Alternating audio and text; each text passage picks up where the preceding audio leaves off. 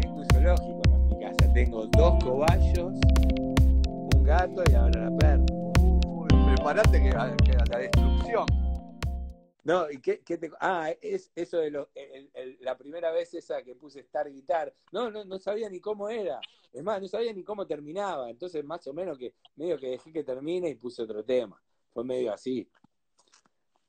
Yo, y- por lo general, yo tampoco soy tan, viste, perfeccionista con algunas cosas de, de ese tipo. Me, me gusta ser un poco punk en eso de... Bueno, pero es lo, que a mí, es lo que a mí me gusta de vos, precisamente, que no sos el estereotipo del DJ bobo que, que, que, que, que- que ve la gente, ¿no? Que vos sos un melómano y sos músico, entonces... Claro, Eh. digo, viste, es como la música, de los errores también salen cosas que están buenas. Y, ¿viste? Sí, pero te la jugás, te la jugás, o sea, te la jugás y medio que te cagás en lo que en, lo que piense la gente, ¿no?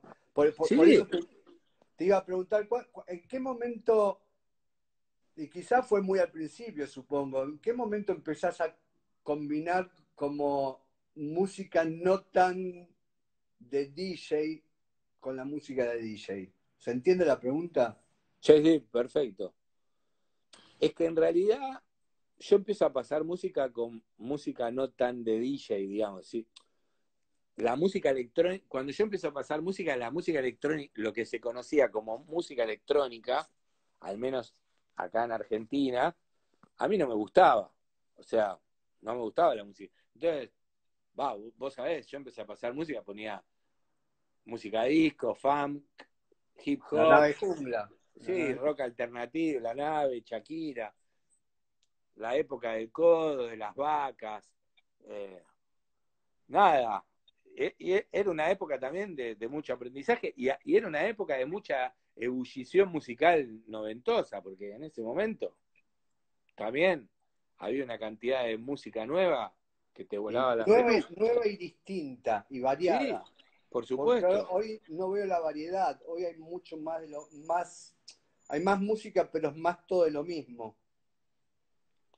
Y, qué sé yo, me parece que hay va- variación. Lo que pasa que me, parece lo que, lo que había más en ese momento, tal vez, era la sorpresa, era el cambio, era, no sé, me, me parece que iba más por ese lado, era no repetir la fórmula, eh, era más eso, eh, eh, era La jugársela. originalidad, la originalidad. Sí, la- ser original y, y ir mo- como mutando de disco a disco, ¿viste? Vo- Vos escuchabas, no sé, un disco de cualquier, no sé, de YouTube y el disco siguiente ya era otra cosa. Escuchabas un disco de Prince y el otro era otra cosa. Y era, era, era, to- todo mutaba, ¿viste? Escuchabas Michael Jackson de un disco a otro y e- era un abismo todo.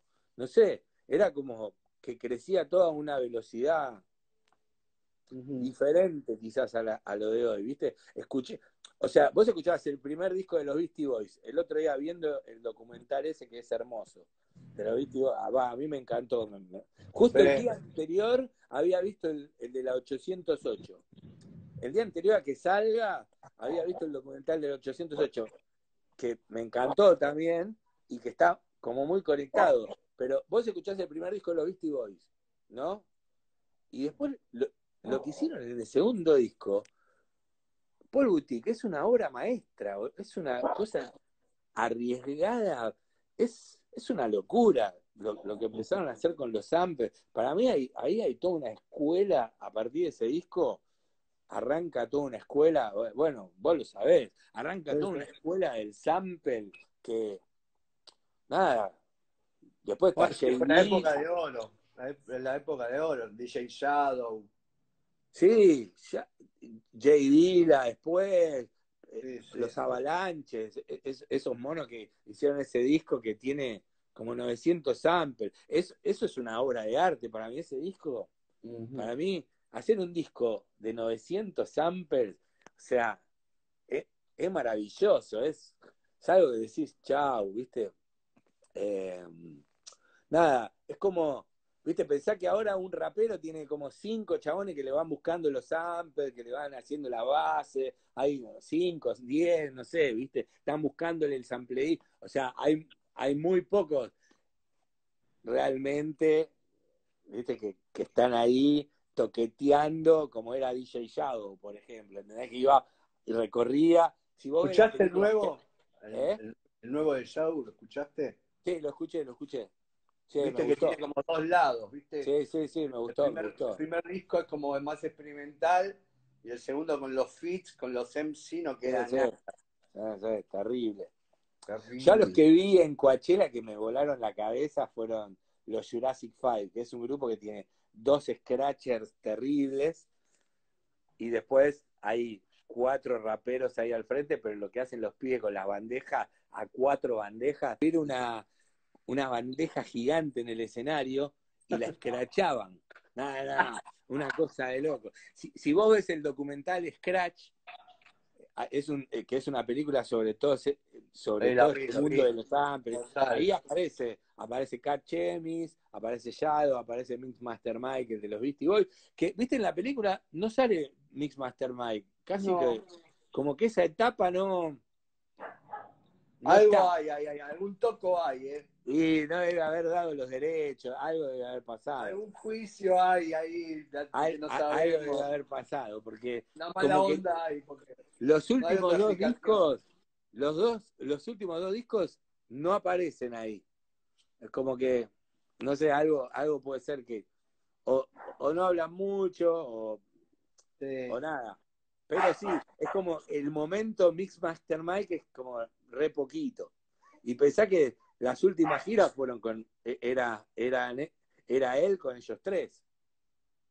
Los últimos momentos fueron esos, digamos. Sí, a Mark no lo conociste las veces que vino acá con los Molotov. Sabés que ahora, hace un par de días atrás, después de ver el documental, lo sigo en Instagram y le, le comenté y me contestó el chabón. Una boludez en Instagram. Me encanta Monimark. Eh. Es el funky, es terrible. Terrible, me vuelve loco, me vuelve loco. y Caldato, y Caldato, Caldato. me encanta. Espectacular, pero bueno, Moni Márquez como. ¿Viste, Viste que Moni Marx llega de la mano de Caldato a los Beastie Le dice, che, tengo un amigo que arregla sintetizadores. Nada, terrible Moni Marx. Me vuelve loco, me encanta. Es más, los discos de él el primer disco que salió para, para Mowax Record, que era un sello así de trip hop que a mí me encantaba, uh, me encanta ese disco. Me encanta, me encanta ese disco. Me encanta. Son todos temas que duran un minuto y medio, un minuto veinte, sesenta segundos. Nada, eso me parece, como que está, estaba toda esa situación de la experimentación, ¿viste? ¿Quién se iba a animar a sacar un disco de un tema una canción vos la podías resumir en 60 segundos. Y eso, y eso era una canción de verdad. Porque si vos la haces seguir, es como que sigue la canción, ¿no? Mm. Pero nada, es, como que yo le decía siempre a Simón de Perras on the Beach que había un tema del primer disco que duraba 60 segundos. Digo, es el tema que más me gusta del disco, que dura muy poquito y que te deja como diciendo, uy, lo escucharía tres minutos, ¿entendés? Pero bueno, para mí la magia es que en ese, en ese instante te produce eso, ¿viste? Te da esa energía que, que decís, wow. Nada, me, me parece que, que, se, pierde, se pierde, tal vez en la música de hoy, hay mucha creatividad también, pero no está ese riesgo que se tomaba por ahí en los noventas.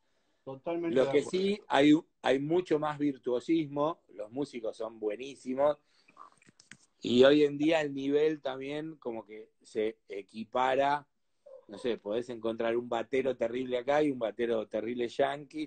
Siempre los negros llevan la ventaja, eso ya lo sabemos, pero como que se equipara mucho el nivel, ¿no?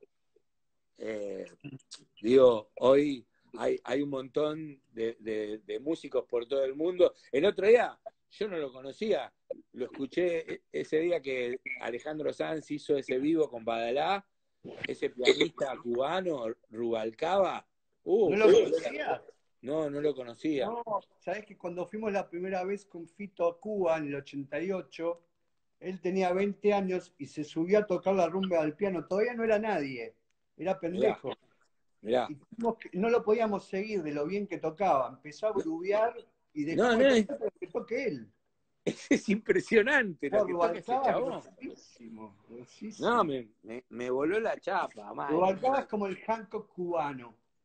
Sí, es, sí, es como cuando escuchás a Fatoruso, ¿viste? No, no Sí, sé, sí, o a, Rada, ¿viste? como esa cosa mágica. Sí, sí, sí. sí. Eh, Rubalcaba es un maestro. Maestro, maestro. sí, sí, no, no, no, no, no lo conocía, no, no, no tenía, no, impresionante lo que toca, Es impresionante. el mejor pianista de Cuba lejos, pero lejos. Es, es impresionante, impresionante lo que toca, impresionante. ¿Vive en Cuba? No, vive en Estados Unidos. No, no, se escapó. Claro, Se escapó. Una gira no volvió más. claro, claro, sí, sí, sí. Lo que hacían muchos músicos cubanos, digamos. Claro. Se, quedó. Salían de gira, no volvían más. No sé si en México y. Chao, chao. Pero es joven, me, me- me pareció que era un pibe joven igual. Debe tener 50 años, 52. Pensé que tenía tipo 30. No, no, no. Lo- cuando, cuando vi quién era, me resonó, pero nunca había escuchado su música. Me sonaba el apellido, Rubalcaba a full, pero no, nunca lo, lo había escuchado. Tiene unos, tiene unos discazos y unas colaboraciones muy respetados. ¿eh? Como... Sí, sí, sí, me imagino. Es más, a mí uno de los discos que más me gusta, viste, de la onda Buenavista, es el, el que el de Ray Cooder con el violero, con Manolo Galván. Eh, eh, Manuel Galván, perdón. con ese disco está entre, está entre mis tops, me encanta. Es un disco así como con mucho aire instrumental, cómo está grabado, cómo suena lo que tocan. Es hermoso. Se llama Mambo Sinuendo, no sé si lo tenés escuchado. No. Uh, es hermoso ese disco. Y viste que en ese momento salió el disco de Buenavista y empezaron a sacar el pianista González sacó un disco, Ibrahim Ferrer sacó un disco, y bueno, y Kuder con, con Galván sacan ese disco que se llama Mambo Sinuendo, que es, es hermoso. Es hermoso ese disco. ¿Y cuál, cuál fue el, el lugar donde tocaste que, que tenía el mejor audio que escuchaste en tu vida? Ah, en Inglaterra, boludo. Todo- todos los lugares de Inglaterra. Suena. Pero, pero ah, eh, terrible. Pero mir- mirá qué loco, porque en ese momento, el día que voy a pasar música por primera vez en Inglaterra, usaban un mixer que se llamaba Urey, que era valvular. Eh, Urey es Universal Audio, es un derivado de audio.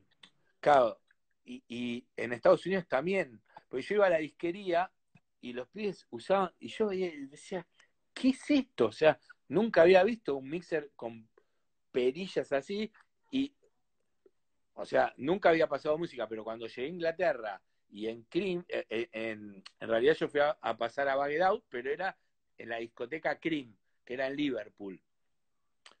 Y llego y había un Urey y no podías, con el Urey era tan vintage que no tenía para escuchar los dos, dos temas juntos. Entonces tenías que mezclar por aire. O sea, era re old school. Re old school. Y yo me quería matar porque, o sea, me acuerdo de mezclar por aire y ponerle en tequila. ¿Entendés? Pero, ¿sabes lo que es en una discoteca con dos mil personas? mezclar por aire y el cagazo que tenés. Y encima no estás acostumbrado. ¿Entendés? Y nada, no, igual estuvo todo bien, pero, pero era un mixer y el audio, el audio era. El audio era una locura.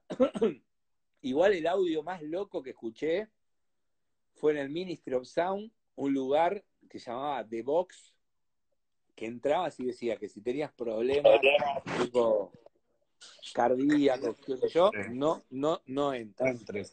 Y el audio era una locura. Era, o sea, después de esa vez escuché muy buenos audios y, hace unos años atrás voy a una discoteca en Brooklyn nueva que se llama Output, que habían puesto ese sonido nuevo que se llama, ah, ¿cómo es el nombre? Ah. ¿Es donde hizo la residencia el, el, el Sound System? No, no sé, puede ser. Yo fui a escuchar a Giles Peterson y tenían este sistema de sonido, ah, no me puedo acordar el nombre ahora.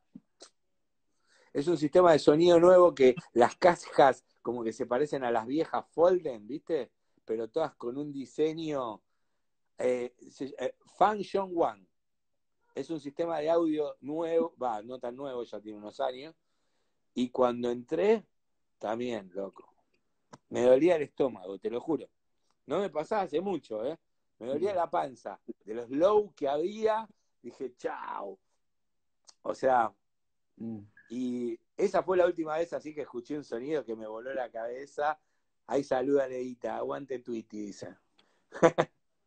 Eh, con esos Function One, que después me fui enterando y, que sé que hay un sistema acá, pero me parece que es, un sistema que para las discotecas te mandan un ingeniero a medir y toda la pelota no lo puede tener cualquiera. Como acá, que acá hay un pibe que lo tiene, que no sé bien, yo no lo vi nunca, sé que hay como un sistemita de Function One.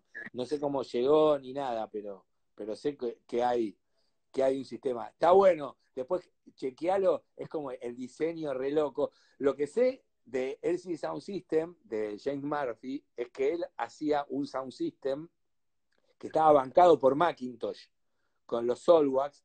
Es una fiesta que se llama Despacio, que ahora iba a estar en, en, el Sonar. Yo, yo me iba a ir al Sonar solo para ir a la fiesta esta de James Murphy, porque quería escuchar ese sound system que ya hace unos años que lo vienen teniendo. Y, bueno, ahora con esto, con esto de, del coronavirus, olvídate de zona. sí, olvídate todo. No, no, todo, el Primavera Pro, todo el paquete. No. Por, por ahora no. Por ahora no va a existir, así que. Pero bueno, hay que acostumbrarse también a toda esta historia nueva, ¿viste? Esto, esto que está sucediendo está buenísimo. No sé, esta conversación y así, ¿viste? ¿Qué sé yo? se hará, será de a poco. Cuando se conte la, cuarentena, si, la forma de vida de la gente pero esto va a seguir, vas a ver que va a seguir esta situación. Para mí, al menos de mi parte, me dan ganas de seguir pasando música. y bueno, pasa que uno ahora tiene más tiempo, después en la vida real es un poco distinto, ¿no? Sí, pero un ratito para charlar te podés hacer, digo, qué sé yo, si capaz que no lo haces todos los días la charla o no haces dos o tres por día, una o haces dos o tres por semana, pero digo, es interesante también que surja esta situación, digo. A, mí al menos me pareció Verdinelli, manda saludos Verdi. Grande. A mí, a mí eh. me entró en una situación, viste, yo soy muy tímido y, esto me sirvió como para, yo que sé, a vos te conozco toda la vida, Javi, pero hay gente con, la que, la que estuve hablando que no, y yo no lo llamaría un día, un día al azar para preguntarle todo esto por teléfono o con un... Porque va, este loco, ¿en qué? ¿Su monitor? ¿En qué, ¿En qué contexto me pregunta todo esto? No, pero es espectacular es espectacular, no sé, a, mí me parece que está buenísimo. Y, también vas conociendo personas, ¿viste? Que está bueno. Me, parece que está bueno, está bueno. Yo, yo te rebanco, tú que empezaste a hacer esto, me parece que está mortal, está buenísimo.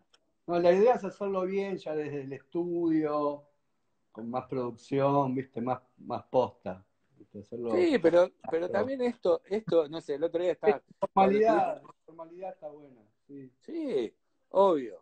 Tiene como, tiene como esa magia, ¿viste? A mí el otro día, cuando empecé a pasar música, ya a las dos semanas, no, pero ¿por qué? Y después empecé a ver gente que pone cuatro cámaras. Digo, también se pierde un poco, si no es lo que, lo que pintó en ese momento, que, que estaba la magia. Digo, yo paso música, digo, un gordo, pelado, estoy pasando discos, y si empiezo a poner 4K, se pierde la magia por ahí un poco, ¿entendés?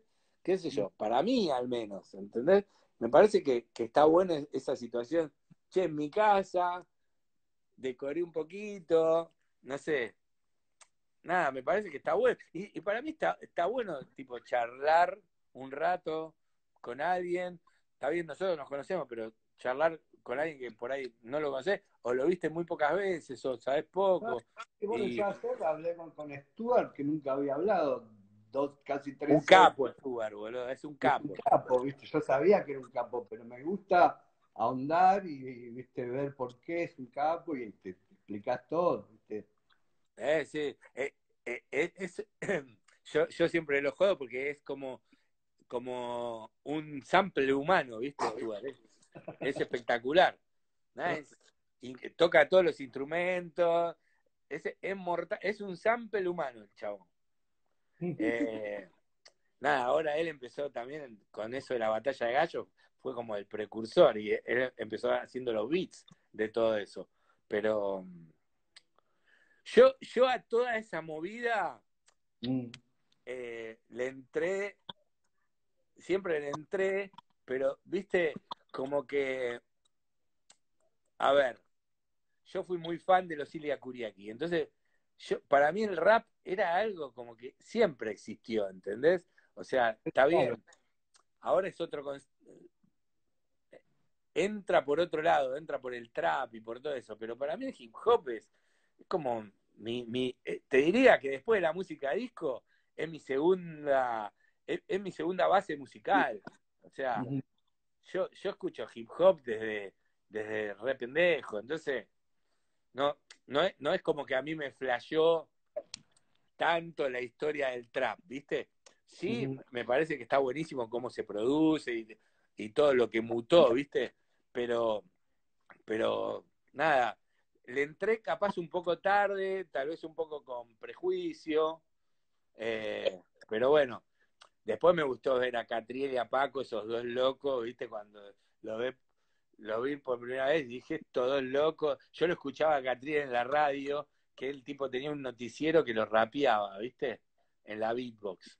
Y, y nada, pero después, ponele, yo a Catriel lo había visto tocando la guitarra en una banda que se presentó en un concurso del Bebe que ganó, que se llamaba Vinilo OK, y él tocaba la guitarra. Después estaba Axel Intro en teclado. Y eran todos unos pendejitos. Bueno, Luca, Lucas Lowe, que Luquita era el que cantaba en Vinilo y que canta el tema de Poncho y es como el cantante de Poncho. Y, y después, nada, estaba el batero Alducín también, tocaba la bata. Era, era como un semillero, pero yo en ese momento no relacioné. Catriel, después el que estaba haciendo radio y después, bueno, el Catriel, el Catriel que todos conocen, ¿no? Eh, nada, mortal, mortal. Yo cuando vi a Paco por primera vez, y ahí volví, volví un poco como dije, estos son como los nuevos Villacuriaki, ¿no? Y sí, bien, es como la como, unos Curiaki 2020. Claro. para mí es una continuidad, para mí le dan una continuidad. Sí, sí por supuesto súper sana. Con, un humor súper loco. Buenísimo. Sin, caer en el lugar, común. vos escuchás esa canción Cono Hielo y lo que van tirando la letra es espectacular. Es hermoso lo que dicen. Nada, nada, e, e, es buenísimo. A mí me cuesta un poco más, no, no digo que no hay cosas que no me gusten, porque ese tema C90 me parece buenísimo. Pero digo, me cuesta un poco más así como algunos temas de trap. Hay un par que me encantan porque son muy hiteros. Loca, ponele, cuando salió me pareció buenísimo. Dije, este tiene el hook que tiene que tener para hacer ese hit terrible. Y ese C90 me parece buenísimo también. Pero bueno, nada, lo que siento es lo que te dije antes. Lo siento medio como que se repite un poco. Y, y bueno, me parece que que bueno, que van a quedar los que realmente, los buenos, ¿viste? Los que tienen que quedar. Sí. Woz también es de otro planeta, lo que dice. Nada, sí, hay, hay como, como un par que, que, tiran data que está buenísimo. Total, total. Y, y con los divididos, ¿cómo vino la conexión? ¿De, dó- de dónde vino esa conexión? No, Divididos viene porque. No, vi- viene en, en el. do- cuan- Cuando ellos estaban grabando Narigón, en el 99, ¿habrá sido eso? Bueno, en uno de esos viajes, que justo lo nombraste, me voy a una Bagged Out y paso música con DJ Shadow, papá. ¡No! Sí. Yo pasé música con DJ Shadow, con Mr. Scraft, que era otro DJ así increíble, porque en esas fiestas Bagged Out que se hacían una vez por mes, era un line-up, era como un mini festival para 5.000 personas. Estaba desde Shadow, Ronnie Size, Goldie, los Chemical Brothers, Daft Oh, Punk, cualquiera. ¿eh? Sí, sí. Sucedía en esa fiesta, de verdad. Estaba Lauren Garnier. ¿Leíste el libro de Lauren Garnier? Es, es como, es buenísimo también, porque te, te va contando la vida, la perspectiva, medio como lo de David Byrne, pero desde el lado de un DJ. Como él viajaba a Inglaterra con los discos y ponía música. Está muy bueno también, me gustó mucho. Se llama Electroshock o no sé, me tendría que fijar. Pero está muy bueno el libro. Y, y Lauren Garnier es un DJ que, que me mata, a mí me encanta. Él, él también es como súper ecléctico. Me acuerdo el día que lo, lo escuché por... ¿Cómo se llamaba el sello? ¿Tenía un sello? Él tenía un sello que se llama F Communication. Es, es de los franceses por ahí menos conocidos, pero es el No, mejor DJ. De culto. Ya desde los 90. Súper de culto. Sí, sí, fue DJ de la Hacienda. La, la Hacienda fue, bueno, u- una discoteca mítica de Manchester. Está la, la película, ¿no? ¿Cómo se llama la película? Claro, 24 Hour Party People. Esa. Exactamente. Y, y bueno, en uno de mis viajes, mirá, conocí a Tony Wilson, que fue el dueño de Factory Record y de la Hacienda. Porque mi amigo Richard Hector Jones terminó, cuando cierran la revista, empezó a trabajar para Tony Wilson. Un día, bueno, te cuento lo de Divididos, que fue el mismo viaje. Nos fuimos seis personas de Buenos Aires a Manchester.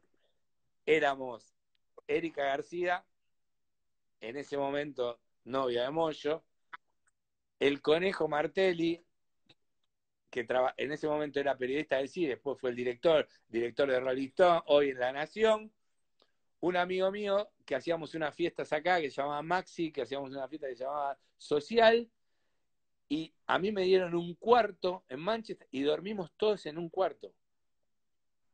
Todos en un cuarto, todos. Éramos cinco o seis, no me acuerdo. Y ese mismo viaje, el conejo viaja para hacerle una nota a Divididos en Abbey Road, porque estaban grabando en Arigón en Abbey Road.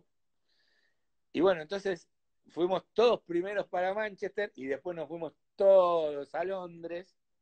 Y bueno, ahí conocí a Abbey Road y ahí se hace, bueno, yo a Divididos lo iba a ver, era fan, todo, pero por primera vez en mi vida había ido muchas veces a, Inglaterra, pero no conocía a Abbey Road, conocía la puerta, la, famosa foto que te sacabas cruzando la calle.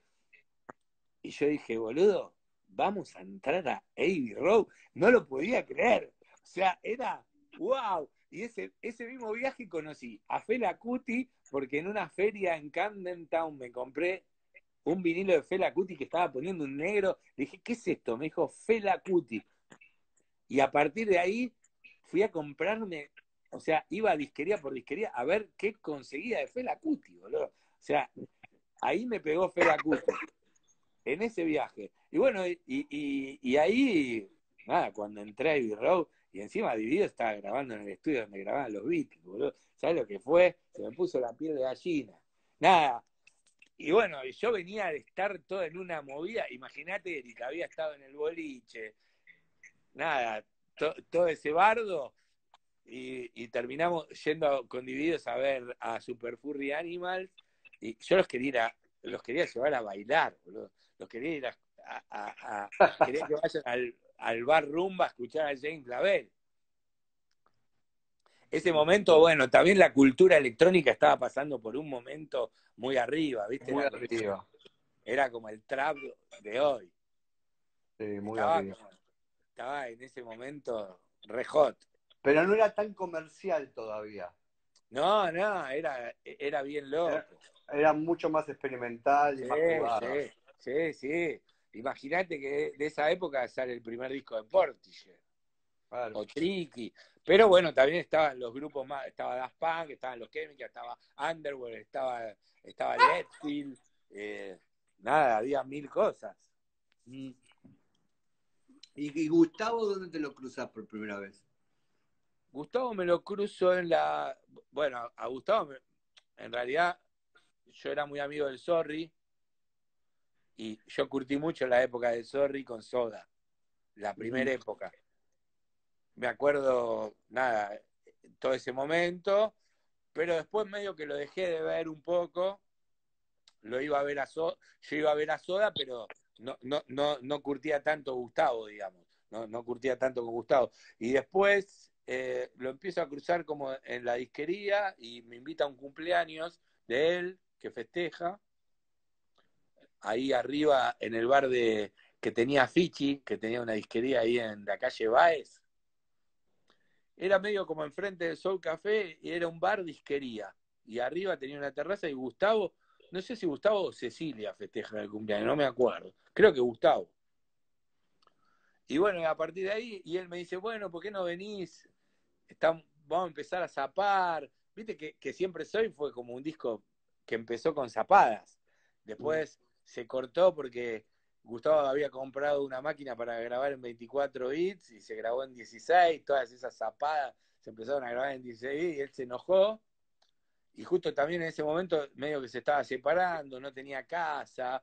eh, y me acuerdo que después de como un año nos encontramos en la casa que le había prestado Piccolini a Gustavo ahí. en el Congreso, acá. Claro, y ahí, ahí volvió Gustavo como con siete temas ya terminados. Claro, yo vivía en Los Ángeles. Entonces eso fue el 2002, 2003. Sí, por ahí, 2001, 2002. Sí. Y me acuerdo que Gustavo ahí ya llega y siempre soy, ya lo tenía liquidado, estaba de punta a punta. Después se- era como hacía siempre él, él lo grababa de vuelta, pero el tema ya, ya e- él me lo, cuando lo mostró ante, ante todos los que estábamos ahí, Los demos de. Gustavo eran los discos low-fi. Sí, y, y algunos, yo cuando escuché Fuerza Natural, todo hecho por él, no era ningún lo-fi, se sonaba todo, sí, me voló sí. la peluca. O sea, o sea, ya era, pero bueno, él siempre, no, bueno, pero lo vamos a grabar con la banda. Yo me acuerdo las batas, cómo programaba las baterías, boludo, qué hijo de puta, man. Era una locura, era una locura. Sí, sí. sí. me acuerdo de esa situación así de escuchar cómo programaba las batas, me volvía loco. Me volvía Mm. loco. Y también esa, esa situación de, de quedarse en, el, en la. O sea, estábamos ensa- ensayando para la presentación de Siempre Soy y él se quedaba en la MPC grabando, grabando cosas, ¿viste? Metiendo Es que no viola. delegaba nada. No delegaba nada. Todas las Nah, cosas, nah. todo lo importante se lo cargaba al hombro y un poco más también. Todo lo que podía hacer él, lo hacía él. Sí, sí, era, era un zarpado, era un zarpado. Y me acuerdo en ese disco que le rompíamos mucho las bolas con el Eventide, ¿viste? Que él lo había usado mucho en la época de. De- Dynamo, y lo tenía ahí, y decíamos, dale, loco, ¿cuándo viene la época que vas a enchufar en el Eventide? Y nosotros queríamos que Eventide, pase las violas por el Eventide, boludo. Y, y es de esa época, a mí me volaba el mate el Eventide. me- me- Sí. es, es el día de hoy que creo que me vuela el mate el Eventide. Yo Bueno, por algo, sigue, por algo sigue saliendo lo que sale. Es uno de los pocos efectos de hardware que, que, que, que el plugin todavía no le, no le llega ni a la... Ni a la- No, no, eh, eh, es que yo creo que, que, que, con un Eventide te, te haces un disco espectacular de sonidos locos, ¿viste? O sea, nada, es Cocteau Twins, es My Bloody Valentine, nada, es to- to- toda esa movida, las, Sí. las reverb que tiene el Eventide es- son Sí. descomunales. Nada, y le quemábamos la cabeza y le decíamos, dale. Y bueno, y enchufaba. Y, y le daba el Eventide. Pero bueno, era como nuestro sueño, dale, enchufar el Eventide. Era todos. Pedro Moscusa también era fanático de esa época, entonces le quemábamos la cabeza. Pero nada, es, como, viste, siempre soy, es como el primer disco que me parece que Gustavo dijo, bueno, voy a, no sé cómo era la mecánica con Soda, pero me parece que es como de esos discos como que fue, hubo mucha zapada. Había temas que quedaron, hubo un montón de temas que quedaron afuera. Había un tema que yo me acuerdo particularmente, que le habíamos puesto Marvin, y que tenía como un sampleo de unos negros, le habíamos puesto Marvin, porque no sabíamos de dónde lo habíamos ampliado. Porque yo me, me, acuerdo que me había llevado dos cajones de discos ahí al cielito para samplear, y, y, no sabíamos de dónde lo habíamos ampliado. No teníamos idea, y, le pusimos Marvin por Marvin Gaye, pero no era Marvin Gaye, ¿entendés? Era en un clima, sí, sí. Sí, sí, era, eran como unas voces de unos negros bueno, y ese tema no salió nunca. A mí me encantaba ese tema. Pero Gustavo decía, no, no, ese tema no sabemos de quién es el sample. Entonces medio como que no lo siguió. Mm. y, nada, me, acuerdo que, yo, no sé cuánto, seguramente con Sodas se deben haber grabado discos así de zapada. Pero fue un momento como que era mágico, ¿viste? Porque estábamos ahí zapando y y, se grababa todo y él después componía arriba. Y hay un montón de temas que quedaron en el disco que, son de, esa situación. O sea, él también hubo un poco, dos meses de eso. Ah, bueno, por eso. Pero me parece que, que capaz que empieza esa situación, digo, porque viste que él soltaba eso, pero después, ya te digo, volvió y tenía cinco, seis, siete temas del disco que de punta a punta terminados. ¿Entendés? Después se volvieron a grabar todo, pero los temas ya habían venido, ¿entendés? Así como estaba el megademo. Sí. ¿Y cómo sería el, ponerle que viene un mecenas y te dice, voy a poner un lugar para que pases música de, tus sueños? ¿Cómo sería? no sé. Ya que, creo que pasé muy, no sé, no sé, pasé, pasé, digo, te digo, gracias a Dios, cumplí más sueños de los que realmente, no, no es que me tiro a chanta, sino que realmente me, me ha tocado y he, y he, estado en situaciones de pasar música y, y estar en situaciones de, de, pasar música con quien yo quiero, con quien yo siempre soñé, o estar compartiendo un disco con Gustavo y después compartiendo una amistad con Gustavo o con Divididos o con Arnedo, que para mí era como wow, Diego Arnedo, boludo, mágico. Y no sé, siempre igual me gusta, no sé, poner a Vicentico no lo conocía y, y, laburar con Poncho en este disco y, y laburar con Vicentico también. Viste, los grandes por algo son grandes. Y entonces la mayoría o sea, para mí hay cosas para aprender y está bueno, tienen, todo un ritmo y una, y una forma, viste, de, hacer las cosas que, siempre se aprende. De eso podés siempre, digo, no, sé, y, pasar música. ¿Sabes, ¿Sabes con qué me quedé con, posta, con ganas? Mira, yo iba mucho a, a pero, pero me quedé con ganas como público ese día no como DJ. Me acuerdo, yo iba mucho al Brooklyn Bowling, que es donde pasa música Questlove. He ido.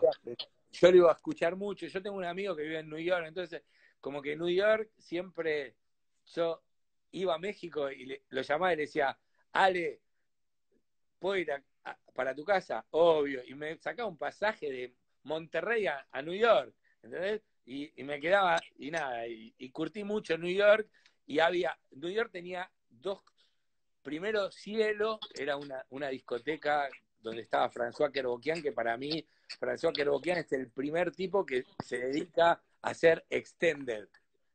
O sea, François Kerboquian junto con, con Arthur Baker, con... Uh, Arthur Baker, tremendo.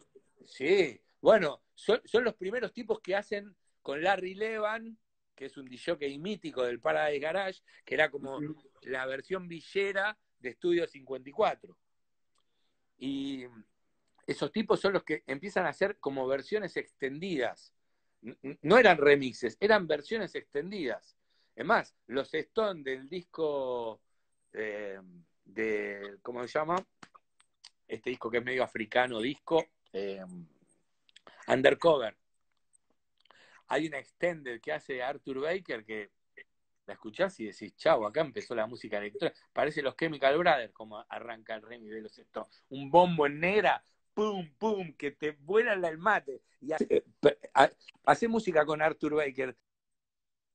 Hace unos años fui a pasar música para el Record Store Day a, Miami y, pasé música con Arthur Baker. Fue tipo, tipo grande ya, un tipo grande. Sí, sí, un chabón. Sí, tendrás ese, François Kerouakian es más grande. No, más. Debe tener casi 70, ¿eh? Puede ser, puede ser, puede ser. Mirá, tengo, François Kerouakian lo conocí en una disquería en New York y el chabón escuchaba, mirá lo detallista que debía ser, escuchaba el disco, se había separado, porque antes, viste, vos elegías los discos en la disquería, te los llevabas a tu bandejita, tenías un pre, y me acuerdo de estar al lado de François Kerouac y el chabón escuchaba los discos desde que empezaba hasta que terminaba, loco. Es el único chabón que vi en una disquería escuchar los discos de punta a punta. François Kerouac. Bueno, y yo lo iba a escuchar a un lugar que se llamaba Cielo, que tenía un sistema de sonido increíble. Bueno, cuando Questlove empieza a pasar música ahí en el Brooklyn Bowling, nada, iba, iba todos los jueves el Brooklyn Bowling es increíble porque están los chabones jugando al box. Es lo más. Se escucha lo, eh, la pista de bowling. Hay show, yo vi a Sibomato ahí. Sí, lo que pasa es que los shows son, son en otro lado, pero sí, el bowling y la discoteca. No, yo vi a Sibomato al lado de la cancha de, ah, mira. Ah, y, ah. entre tema y tema se escuchaba ¡pum! ¡pum! la gente seguía jugando, boludo. Sí, sí, bueno, cuando eh, el último show que vi yo de McCartney en el Lollapalooza de Chicago, estaba tocando él solo con la acústica y a dos cuadras estaba la música, la pista de música tipo de, de, música electrónica, que en ese momento era dubstep. ¿Sabes cómo se escuchaba? Y McCartney en un momento dijo, che, ¿y si hacemos un mashup? Como diciendo, hagamos un mashup de lo que suena con Blackbird, ¿viste? Porque era nada, cuando tocaba acústico, él solo con la viola, ¿sabes cómo se escuchaba la música electrónica? El repalo. Bueno, nada, la, anécdota es que llego a New York, llego a New York, estoy en el Max Store y me entero que se murió Prince, man. ¿Sabes dónde estaba? En Prince Station yo. Viste que el Max Store estaba, estaba en Prince Station. El, del Village, en, el, en abajo. Claro, ahí abajo. En la estación Prince Station del subte. Salgo y estaba la Rolling Stone, todos sacándole fotos a esa estación. Y, la Rolling Stone sacó una foto con eso. Yo vi cuando el chabón sacó la foto, boludo. Y, y ese día, Questlove anuncia que va a pasar música toda la noche en el Brooklyn Bowling. Y yo dije, bueno, le dije a mi amigo, obvio que vamos a escuchar a Questlove, que va a ser la noche de Pringles. Y se agotaron las entradas y no pude entrar. Y me quedé en la puerta. Y cada media hora iba y le quemaba el bocho al chabón y le decía, che, loco, soy de Argentina, déjame entrar, déjame. Y me escuchó el set de afuera, no pude entrar, boludo. Eso, ese día creo que fue el día que me quedé así como con más vena de escuchar algo. Ya era grande, ¿no? Obvio, esto fue hace un par de años atrás. Pero, y hace poco me acordé de esta situación porque, porque Questlove hizo una noche toda homenaje a Prince y puso un montón de temas en vivo y cosas raras que tenía el chabón. Y, y nada, si vos me preguntás, me hubiese gustado entrar esa noche a escuchar ese set de Questlove. Porque yo estaba ahí y escuchaba cómo la gente cantaba los temas, era una locura, ¿entendés? Fue, era, era como re emotivo y yo estaba ahí afuera y dije, la concha de la lora. Ese momento me gustaría como que se vuelva a repetir digo, esa situación, que no pude, no pude entrar, no pude entrar al boliche, man. Fue, fue increíble, ¿no? Pero bueno, nada. Tenéis larga para llegar a, esta, a esa situación. ¿Y un estudio de grabación que te haya volado la cabeza? ¿Cómo? ¿Algún estudio de grabación que te haya volado la cabeza? No, estudio de grabación no, no conocí tantos. Abbey Road, me mm. encantó, qué sé yo, no, no, no, no sé, así no. A ver. Me acuerdo una vez cuando los Kuriaki fueron a grabar a un estudio ahí en Broadway, que creo que habían ido a grabar un tema de Queen, o no me acuerdo. ¿ah? No sé, me, me acuerdo de esa situación, que en el estudio de al lado estaba de la Soul, los raperos, viste, grabando un disco. Y yo me acuerdo que fui a ver a los Kuriaki y me dijeron, che, boludo, acá al lado están los de la Soul. Y yo me quedé ahí afuera como esperando y cuando abrieron la puerta, viste, medio que miré y me miraron medio mala onda los chabones, viste, pero estaba lleno de vinilo, viste, se estaban ahí ampliando al palo, pero no, no, no curtí muchos estudios así mitológicos, no, no mm. tengo como mucha data de, de, de estudios. Conocí a B-Row, que debe ser grosso. o sea, debe estar entre los mejores. Pero bueno, fue esa casualidad de divididos que, no sé, debe ser también para ellos, debe ser una experiencia que debe haber sido terrible, ¿viste? Porque mm. entrar ahí a esa sala, boludo, donde grababan los Beatles, Floyd, ¿viste? No sé, yo cuando entré no la podía creer, no la podía creer. Aparte lo que es el lugar, porque adentro es una manzana, boludo hay un restaurante, hay, hay sí, sí, sí. bungalows.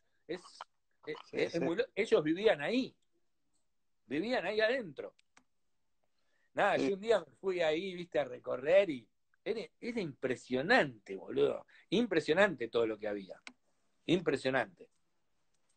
Mm. No, ese es como el estudio que conocí mítico. Y después no, no conocí así otro estudio grosso eh, conocí como cosas caseras, viste, así más, más de electrónica, de algunos ingleses que a mí me gustaban, pero no, no, no conocí estudios como decirte, no sé, criteria, no, eso no, no curtí mucho eso. Mm. ¿Y qué, qué imaginas que va a ser? Eh? Pero ponele música, música pasé en lugares alucinantes, en lugares que, no, o sea, creo que pasé en Ibiza pasé en, la mejor noche, tres veces en la mejor noche que se puede pedir pasar música, ¿viste? En el Space, en una fiesta que se llama We Love Sunday, que un día tenía una terraza y un día ahí, Lauren Garnier, que yo pasé música adentro, él pasó música seis horas allá afuera. Y después compartí ahí cabina con un DJ Guetta con Guetta totalmente desconocido, no era nadie, pero nadie. Pasó música antes que yo, después pasé música yo, y después pasó música Catania, y después pasó música Saya. A Guetta, con Guetta me crucé varias veces, no soy amigo, pero creo que fue el primer disc jockey así que se hizo estrella, estrella pop, digo, ¿no? Que, grabó con Black Eyed Peas. Y, y Guetta también, una vez fuimos a tocar con la con el proyecto ese que yo tenía, Azúcar XP, ¿te acordás? Gustavo vino a un Vive Latino a tocar con nosotros, con el Azúcar XP una vez. Y nada, y, y, tocamos en Brasil, en una Greenfield de Brasil, y después tocó Guetta, un Guetta que no lo, no lo junaba nadie en ese momento. Te estoy hablando por ahí tres años antes de que, o cuatro años antes de que sea mega famoso. Sí.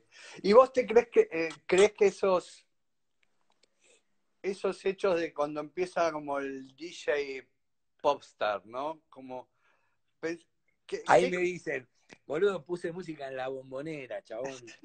o sea, en un en, la final de River Boca, o sea, ya yo puse música en, ya en situaciones, o sea, ahora no me acuerdo, pero puse música el día el día de de, de ese 25 de mayo que vinieron todos los presidentes de Latinoamérica puse música para dos millones de personas que estaban en la calle. O sea, ya está. O sea, no por eso te digo quizás ese momento de Prince es el momento que, que más me hubiese gustado entrar a una situación porque no pude entrar y porque escuchaba afuera y ese día había muerto, te diría, uno de mis dos ídolos máximos, porque uno es Prince y el otro es Bowie. Pero digo, no sé, Prince para mí es lo máximo, me, encanta, soy fanático.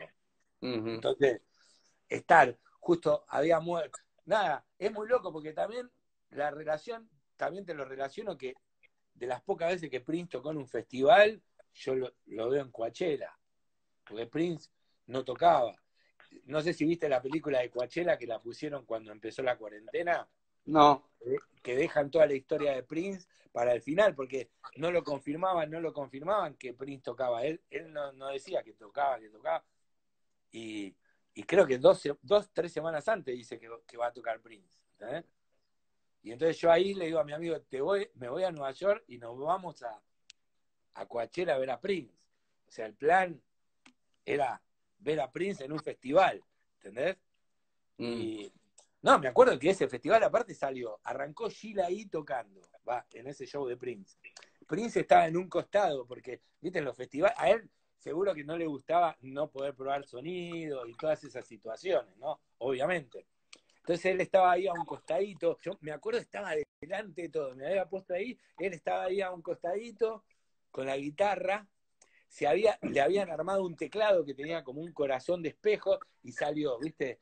La banda con Sheila ahí primero, ta, ta, ta, zapando, tocaban los brazos, todo, ¿viste? Se ve que el, Kia iba como, los hacía, después salió The Time, The Time, o sea, fue impresionante ese show, salió The Time y el Kia seguía ahí al costadito, yo lo veía, ¿viste? Porque el pie iba como tocando la violita porque se escuchaba, y en un momento hace volar, imagínate, hace volar el teclado.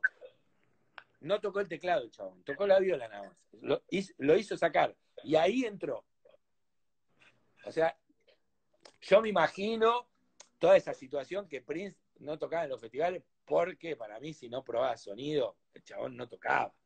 Y mm. esa fue como la, debe haber sido esa situación que dijo, bueno, voy a tocar en Coachella, porque no es que Prince tocó en Glastonbury, ¿entendés lo que te quiero decir? Fue ese, ese show. Salvo cuando vino al Rock in Rio, que yo me fui a verlo a, yo me fui a verlo a Río, a, Prince. Yo no vi el show, yo no vi el show corto de acá, yo vi un show corto en Río y a la semana vi un show largo en Río porque en, Río tocó dos veces. Yo me fui especialmente a Río porque Prince tocaba dos veces. Bueno, yo estaba, cuando fuimos a, hacer eh, Circo Vita en Londres, el Kia tocaba en Londres como a los 15 días. Ajá. Y yo me fui a Nueva York a ver una gente y me volví solamente a Londres para, para ver lo que tocaba en Wembley, que hacía 11 Wembleys, y vi la función número 9 Lloré cuatro veces, boludo, en la noche. Año 92. La época de Sexy Motherfucker, que salía con la cama voladora. Claro, claro. Eh, eh, fue, fue, un, fue un toque después de, la gira esa, porque a nosotros nos agarra Graffiti, Graffiti Bridge. Acá, el primer, el show de acá era el show de Graffiti Bridge. Y después. Ah, no, fue un par de años después Sexy Motherfucker, ¿no? Fue un par de años después. Porque en el medio está el disco que que, que está Diamond Samper. Claro. Esto 95 fue. Sí, sí, yo me acuerdo acá, el auge, me acuerdo porque en Brasil tocó el tema ese se llamaba Shake, ¿te acordás? Shake. y, y el segundo show en Brasil, que hay un amigo mío que está ahí, eh, que está escuchando, que no me acompañó y me fui solo al Maracaná me fui solo a ver a Prince porque mi amigo se había enojado porque había tocado poco. y ese show de Prince fue mágico, chabón, porque se sentó en el piano y empezó a tocar todos los hits en el piano. Y yo me volví loco. Me volví loco. ¿Entendés? Qué cagada que se murió, boludo. Mira que estaría si la música estaría haciendo.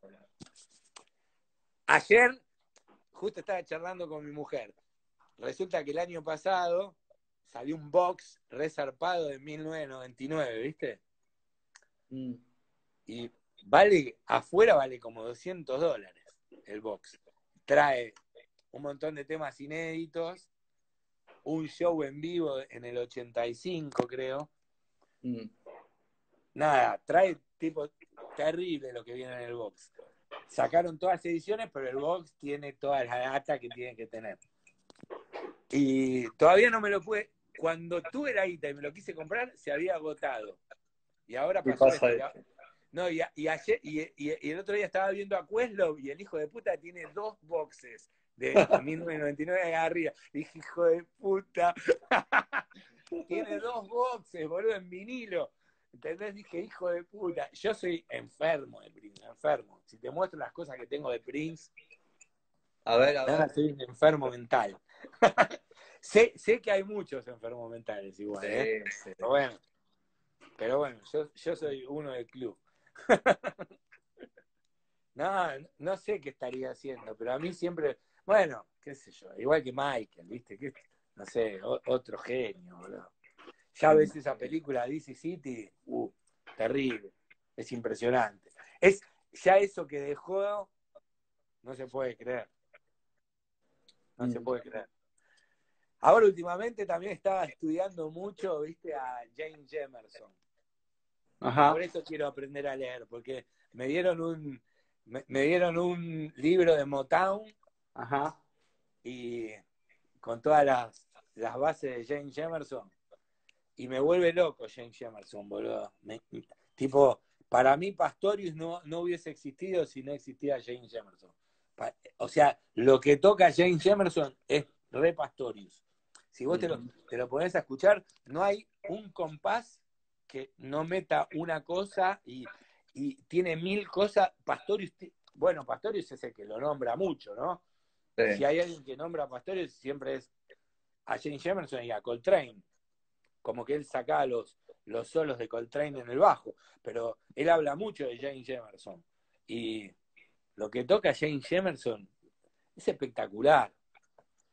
Me parece que, que, que, hay un montón de bajistas ahora que tocan así zarpadamente bien porque escucharon mucho a James Emerson a partir de que Jaco siempre habló mucho del chabón. Para mí lo que toca el tipo es impresionante. Desde, no sé, desde algunas bases de los Jackson 5 hasta Marvin Gaye, hay unas bases que son increíbles, boludo. Increíbles. ¿Y bandas de acá que te gusten de, ho- de hoy, de hoy en día? Eh, hay un montón que me gusta. La verdad que ahora hay nada. Me, gusta, bueno, Catriel, Paco, Banda Los Chinos, Conociendo a Rusia, buenísimo. Eh, bueno, usted señálemelo, Simón,